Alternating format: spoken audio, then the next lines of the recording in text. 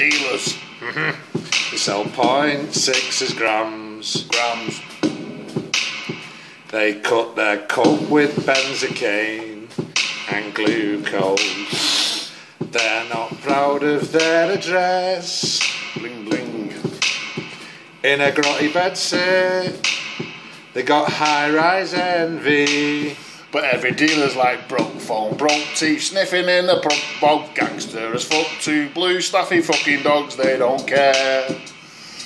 They're all weekend millionaires, but every dealer's like vodka, Red Bull, counterfeit timepiece, broke car, fat bird, staffies on a dog lead, they don't care.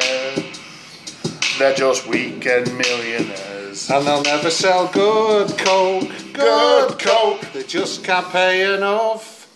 That kind of gear just costs too much.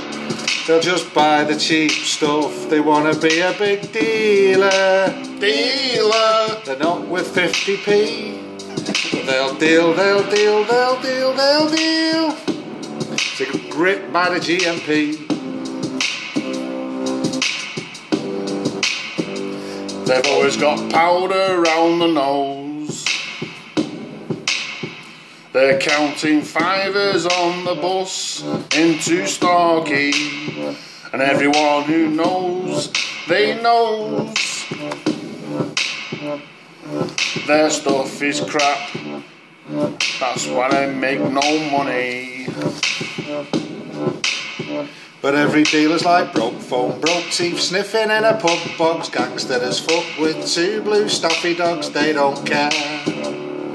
They're all weekend millionaires. But every dealer's like Red Bull vodkas, counterfeit timepiece, count, broke down fat bird staffies on a dog lead, they don't care. They're all weekend millionaires. and they're not fucking loyal. They'll sell you shit that's not good, the kind of shit that's proper rough.